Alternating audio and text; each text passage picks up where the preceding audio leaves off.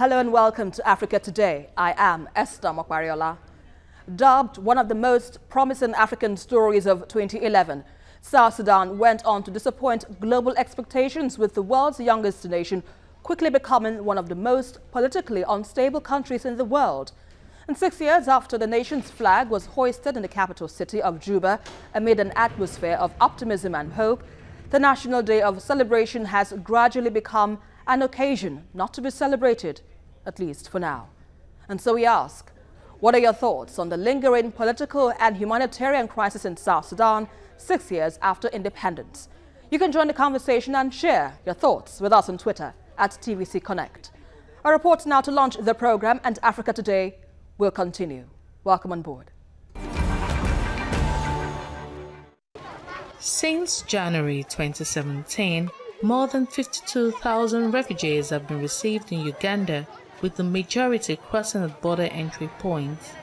In less than six months, Uganda has more than tripled in its population of South Sudanese refugees, hosting more than half of 1.1 million people who have fled their homes in the neighboring country. This, to an extent, has put a strain on Uganda's resources. $10 million to host 10,000 refugees, and we have 4,000 crossing every day. That means in three days, we have a need to raise almost $10 million to help them out. In the face of these challenges, the United States government announced an additional aid package for Uganda to support its refugee crisis. I'm very happy today just to announce an additional $25.2 million contribution um, that is uh, earmarked for activities in Uganda in response specifically to UNHCR's 2017 supplementary appeal in support of South Sudanese refugees. Although Uganda is widely recognized as having progressive and forward thinking refugees and asylum policies, the crisis is not something the country can tackle alone. We are managing our country well, and there's peace, and there's democracy, there's order.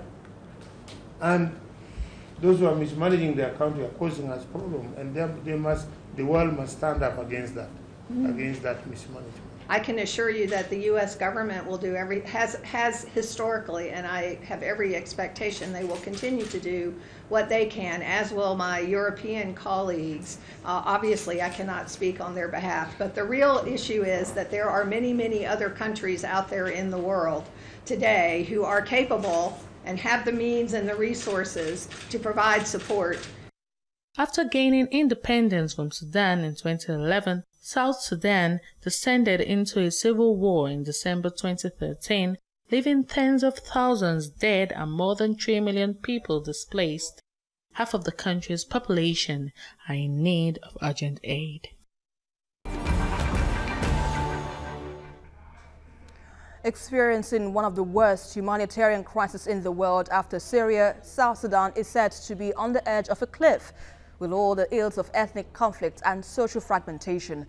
The world's youngest nation plunged into war in 2013 after a fallout between President Salva Kiir and his former deputy Riek Machar, creating a terrible mix of brutal violence, rising hunger, and a deepening economic crisis. Joining me in the studio on Africa Today, I have Olayinka Ola Daniels, a lawyer and a political analyst here in Nigeria. Good to have you here on the program. Thank you. And on Skype, I have Batunde Fagbayibo, Associate Professor of Law, University of South Africa in Pretoria, South Africa. Good to have you as well on the program. Thank you. Thanks for having me. Right. Now let's begin the show with you, Olayinka. Well, let's start with this. What are your thoughts now on the lingering crisis in South Sudan amid previous efforts to, well, resolve or end this logjam? Well, the situation we have at the moment, um, maybe I will look for a word for that in the course of the discussion, but I will say it's pathetic hmm. and it is sad. Hmm. If African, uh, African leaders, I mean, are known for nothing but destructions, I mean, you, was there any blueprint was there any scope of, uh, I mean, uh, um, any, any, uh, any letter, you know, uh, uh, of moving forward to say, okay, we want independence and we want a nation and we want this nation to flourish. Do we have any land, uh, uh, any land scope of such? Because if we do, you got independence in 2011. By 2013, December, we have crisis between the president and the former vice president using ethnic um, ethnicity um, um, issues, diverse uh, di- uh, dimensions. It's sad. If we we use now, you are supposed to have a peaceful country. You left Sudan to stand on your own to cater for your people. But what do we have instead? From now, from 2013 to 2015, in fact, to 17 right now, from the uh, from uh, research, we've discovered over maybe four million people. Over four million people had left the country. Some to maybe the, uh, the neighboring, countries. countries. and like that. Some are seeking refuge in some other, uh, you know, country. really, really it- disheartening. it- no food, nothing. Massive They displacement as need to. What mm. is the government? What is the wha- wha- what is the duty of the government if it cannot invest in its people? If it cannot invest in the economy of the country? If it cannot promote its people and future of the nation? So mm. what is the wha- what is the job mm. of the of the leaders if they can't fix this? And it's a wake-up call for them indeed at this moment. Well, let me Well, when we say if it's a wake up call, Yeah. because the wake up call started all, all, all the way back, I think Yeah. even 15. Yeah. But they're marking their, they mark their sixth year anniversary um, on Sunday. Yeah. But seriously, what is the difference? What can we say as improve? What can we say the people are benefiting from the so-called democracy? I guess nothing much. Well, let's quickly get the thoughts of Babatunde Fagbayibo. Babatunde, now would you say the people or the government are to blame for the crisis ravaging the country at the moment? Uh, you see, the case of South Sudan should be placed in, in a historical context. Um, there's no way we can talk about South Sudan today and not um at least understand the roots, uh, the genesis of this crisis. Uh, it takes us back to 1991 specifically, um, when there was a big split in the SPLM between uh, Riek Machar and um, John Garang, the late John Garang, and which also took some sort of um, an ethnic coloration. Um, the Dinka being the majority group in South Sudan, and the Nuer being the second uh, uh, largest major, uh, largest group in South Sudan, with um, about 60 ethnic groupings. Um, so this fight has always been between these two elements, the um, the Riek Machar element that later forged an alliance with um, the government of um, Sudan, or what you know, the northern part of Sudan. So. Uh, if we are to place the problem, if we are to place the problem where it should be placed, uh, one would say that all the actors, uh, both uh, you know, um, uh, uh, the, the, the current president Salva Kiir uh, of the SPLM and also his former vice president uh, uh, uh, who was fled to South Africa, uh, we would say they're both complicit. Now, when South Sudan um, gained its independence, uh, and you know arrangements were made for it um, uh, through through the comprehensive peace agreement. Certain issues were not taken into consideration. Um, you see, many of these leaders were unable to substitute their um, personal issues. They were, able to, they were unable to substitute it for the greater good of South Sudan. So you see this country has been in a, in a total state of chaos um, since, since, since 2011, since it gained independence, with factions and armed groups. Um, at some point, the SPLA had about 200,000 army officers and ha- ha- had the highest um, number of generals uh, per capita, about 700 generals.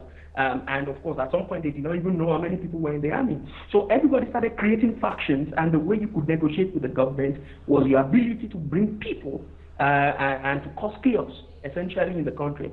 So the fight in 1991 again has replayed itself, of course, replayed itself in 2013 when um, there was a big split again between Riek Machar and, uh, and, and Salva Kiir, um, leading to, to, to, to further chaos in the country. And of course, there are reports that um, the government of South Sudan engaged in, in, eh, in uh, you know, some sort of uh, wiping of or, or, slaughtering of ethnic uh, Nuers who were living in Juba in 2013. So again, to go back to your question, who do we blame here? We blame all the political forces. If we are going to arrive at any serious, uh, serious resolution of the South Sudan problem, all of the leaders, all of the leaders have to step aside. Mm. Um, in fact, one even argue that um, uh, um, Salva Kiir, the current uh, government of South Sudan, is illegitimate to a very large degree because an agreement was made in 2010 that two years after independence there would be a general election.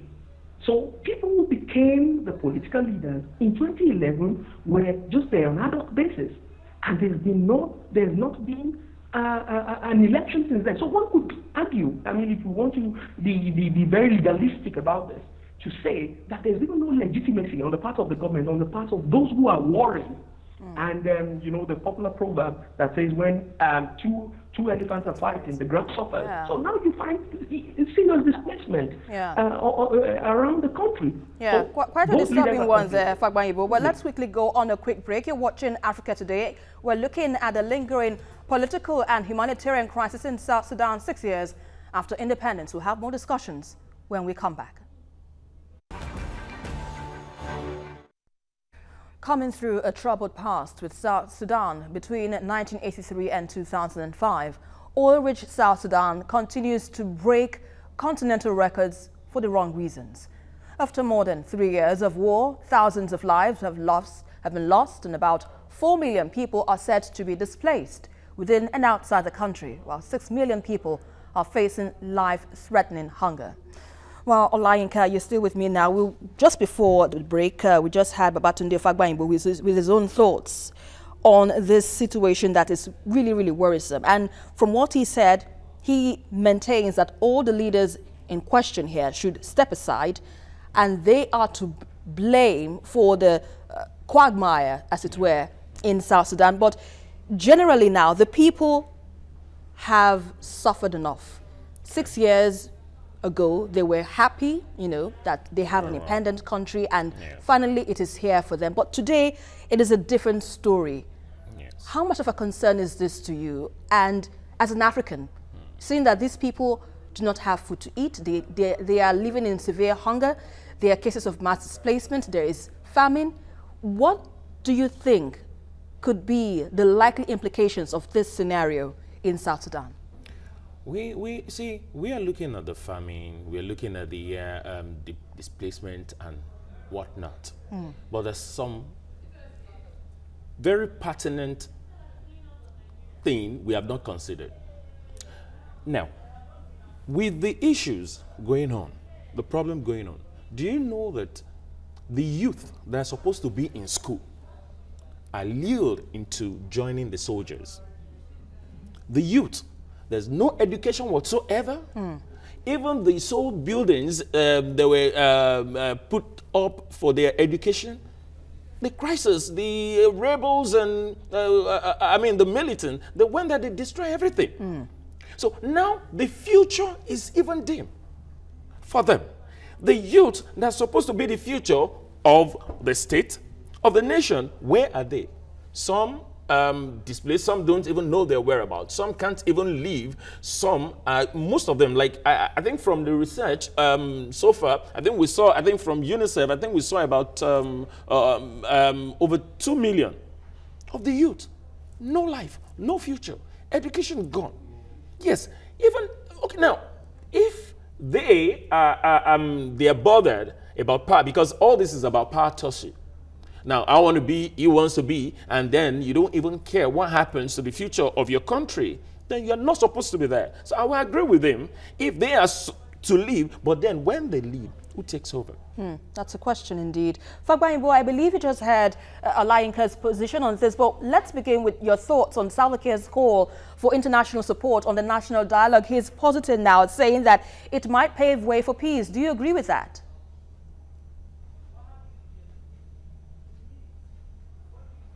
As I said earlier, Salva Kiir is very complicit.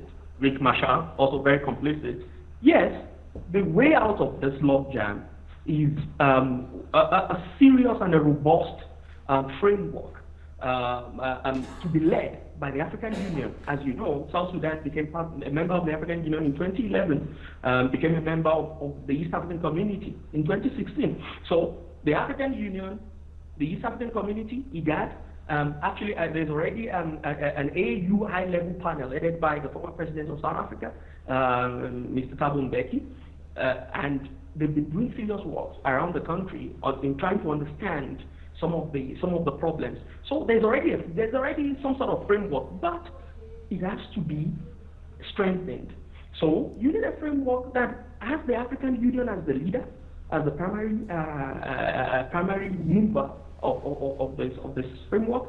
You need the United Nations uh, Security Council to also come on board, uh, and of course, when these two actually come together, they must set some sort of approach on moving forward.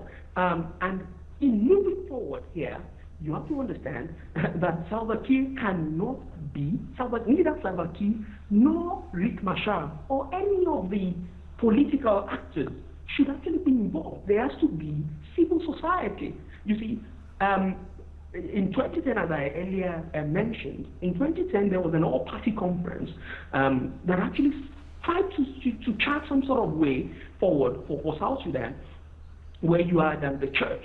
Um, the church is still very quite powerful um, there, you know, women groups and, and all of those things coming together to chart a way forward. So this has to be resuscitated. Well, how and workable is that? So knowing that, Fagbanyi, sorry for interrupting you, how workable is that knowing that the, the players involved in this crisis do not seem to let go? How workable is your, is your proposition?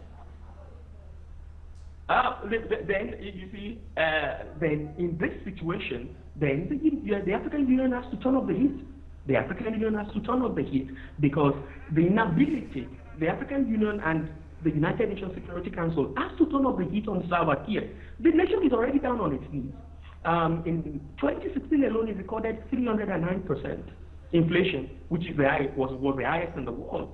You know, it's already on its knees. All prices are falling. Um, so uh, there's not much room to bargain um, you know, on the part of Salva Kiir now.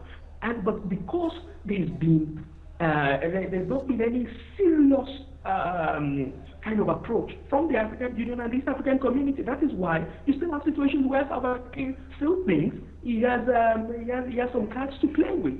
So when this com- uh, the, the, the uh, actors I have mentioned, the African Union, the United Nations Security Council, the East African Community, um, and Intergovernmental Authority on Development, when they come together and turn up the heat, you know, play around with sanctions, um, send out messages to reactors and let them know and say, we have to create a proper transitional framework. Um, the, the, the, Ugandan academic, Mahmood Mamdani, who has done quite a bit on, on South Sudan, had argued that South Sudan is not a failed state. South Sudan is a failed transition. Mm. So what happened was that the transition was so skewed that the outcome of the transition was it's what we have now. People, illegitimate actors, actors who are extremely militarized, actors who came to the table with bad blood. All right, I'll, I'll come back to you in a moment. Let me quickly get uh, the thoughts of Olayinka on this very matter. Do you think sanctions is a way forward to help the situation in South Sudan? Sanction? who, who are going to suffer it? With sanctions? To stop supplying aid? We're going to suffer this.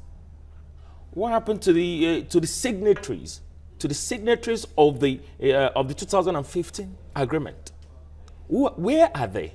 If they are sincere, if the signatories are sincere, they, they should come to a table. If mm. they're sincere with themselves, mm. then they should look at the agreement again and decide whether they want to stay together, whether the agreement will work, whether they want to see it work. Mm. Sanctions. So far, as far as I'm concerned, these people we are talking about are not going to suffer anything. Well, the people. The people. So sanctions come into how many are there are them in total? So what other areas are there now to explore to find lasting solutions in this in this situation? Yes, we, we have said it. Uh, we're not going to rule out the internet. Uh, the sorry, the African Union mm -hmm. to come, you know, to things like this, and it, it's sad. It's sad. Things like this is happening, and seriously, African Union so far is quiet as far as I'm concerned because i have not really seen a tangible action you know, uh, uh, uh be, be being, um, being put together mm -hmm. by the so-called African Union. Mm. Now, if we are looking for a way forward to see how these things will work, like I said, mm -hmm. the signatories have to come to the table. Then we, they need to be sincere to each other, to themselves. Okay, what do we want? Let us look at our blueprint. How do we move forward? Hmm. Then, if it's about sacrificing your ambitions, like the president and the former um, uh, vice president and every other uh, people involved in this crisis, probably should give way. Hmm. Hmm. Should give way. Let us look at it. If they need um, African Union to bring in some um, maybe machineries to put things in place, then settle before we can move forward. All right, Babatunde, I believe you just had uh, Olayinka, but looking at the situation critically, what possible strategy do you think is expected now of the international community to salvage the problem that is growing with concern of humanitarian crisis? Uh, um, the humanitarian crisis, of course, um, you've had many actors again going in and, and trying to, you know, um, bring in aid um, to, to, solve the humanitarian crisis. But this is a political failure. Um, so the way out of this logjam is a political process. It's a political process, as I said earlier on, and that political process has to start with actors coming together and telling the main actors to step down. You see, um, we are battling with so many things oh, uh, uh, in South Sudan. Yeah, as I said earlier, we're the, the government is illegitimate for all intents and purposes. Uh, the government of, of, of uh, Salva Kiir is illegitimate for all intents and purposes. So you need to start looking around and asking yourself the role civil society can play. There's civil society on the ground. You know, we keep going on as if um, um, there, there, are no people who, I mean, they, I know the church was very, very effective. The Anglican Church, for example, was uh, uh actively involved in trying to sort out the crisis in the early years of independence. So you have all of those things. So things have to, uh, and of course, Africa, the South Sudanese in, uh, in diaspora, mm. um, there are quite a number of um, um, South Sudanese who, who, have actually been able to do great things outside of the country, um, who are able to contribute as well. To, to, to, the peace process. Mm. So everybody has to go back to the drawing table with no condition whatsoever. All so right. Um, we don't want Salva Kiir now placing conditions on the table. So people go back and start looking for the way forward. And the way forward is for the political actors, current political actors, to step down. All right, if on that positive note, down, I'd like to thank you very much. Babatunde Fagbayibo, because of time, we would like to thank you again for your thoughts on Africa Today. It's a pleasure. Now, let's quickly wrap up with you. And what lessons can be learned from this whole happenings in South Sudan?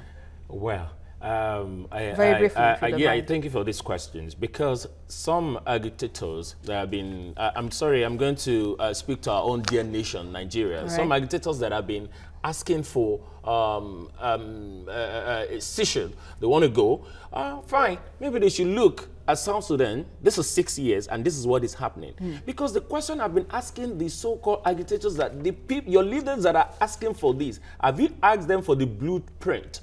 of what they really have in, what they have in mind yeah. for a country they want to have. Mm. They don't have, they're just making us the same thing will happen. That is what the question is. When South Sudan was uh, was asking for the independence. independence, what do they have on the table mm. As a, a, a nation? Mm to move for, uh, moving a nation forward and to, to stand as a nation. What do they have on the table when they were asking for the independence? This is clearly, it, it, it, we can see it clearly. Mm. They had nothing. All right. And on that note, thank let's you. thank you very much, Olayinka Ola Daniels, lawyer and a political analyst. We appreciate your thoughts on thank the program. Now, for a country virtually on life support, South Sudan tells a story of shattered dreams, wastes and potentials, and a fading future amidst high expectations that once trailed the country's independence six years ago. Now, to ensure South Sudan doesn't have to cancel the next national birthday, Africa and the world can't continue to stand and watch as a selfish political class plunge the world's youngest nation into further doom. And that is our package for today. But don't forget to join the conversation as usual on Twitter at TVC Connect. And also follow me for updates around Africa at Esther TVC News. To the next one. I am Esther Makwariola. Bye for now.